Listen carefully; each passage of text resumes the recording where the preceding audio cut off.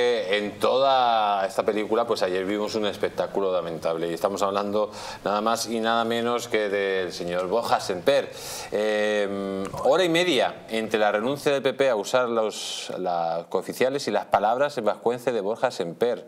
Vamos a ver el vídeo, amigos, porque es que lo dice todo. Véanlo entrar en vigor esa ley ni puede aplicarse en tanto en cuanto no haya sido, en primer lugar, tomada en consideración, en segundo lugar, debatida, en tercer lugar, aprobada y, en su caso, publicada y, por tanto, entrando en vigor. Los poderes públicos estamos sometidos a la Constitución y a la legislación vigente y, por tanto, lo que pediría es que el desarrollo de este Pleno se haga conforme al reglamento. Sortea día dugu. Hau da egia. Espainia hizkuntza komun bat partekatzen dugun komunitate politiko bat delako. Nazio...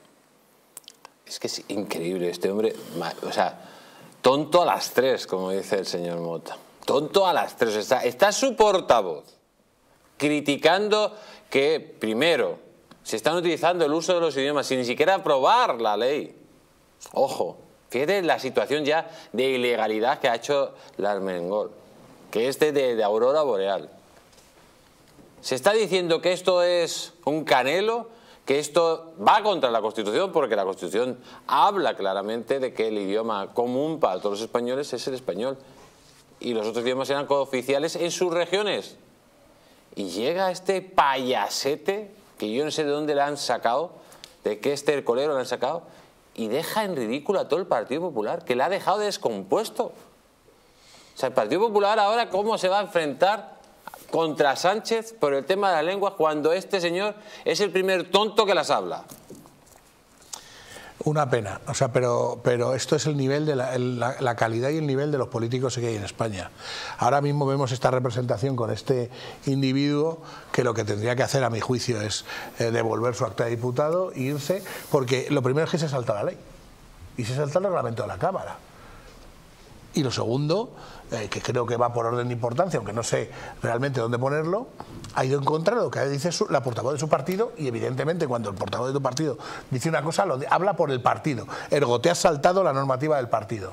Yo creo que lo que tiene que hacer es dimitir y el flaco favor ha hecho este señor al Partido Popular, a la derecha española y, al y a España, en líneas generales ya está bien, de verdad. Yo creo que vivimos sometidos a la dictadura de los partidos eh, y a la dictadura de políticos mediocres y yo creo que lo que tenemos que aprender también de todo esto es que el sistema, desde la sociedad civil, debemos de trabajar para cambiarlo. No puede haber gentuza como esta en, en un gobierno, o sea, en la posición que se supone que tienen que estar, o que nos vendían eso, en contra de lo que dice el gobierno y no se puede saltar la ley y se la está saltando. Yo lo que no entiendo es por qué lo ha hecho. Es decir, ¿qué, gana Borja Samper haciendo esto? ¿Qué gana el Partido Popular haciendo esto? Es decir, yo, creo que no gana nada, ¿no? Pero luego, mira, fíjate, el contrasentido total lo pone la vicepresidenta del Gobierno, eh, Yolanda Díaz, que le pregunta, oye, ¿usted va a usar el gallego? Es decir, pues claro, ¿va a usar usted el gallego para ese tema? Y dice ya, no, yo no, yo no porque yo soy gobierno. O sea, como yo, yo que represento, represento a la nación, ¿no? Entonces, ¿y los diputados qué son? ¿Los diputados qué son? ¿Alguien me puede explicar qué son los diputados?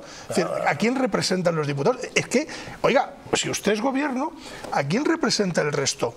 Es decir, representan al conjunto de los españoles, ¿no? ¿O qué pasa? ¿Que, ¿Que, el diputado es diputado y representa solo a los gallegos? No es así.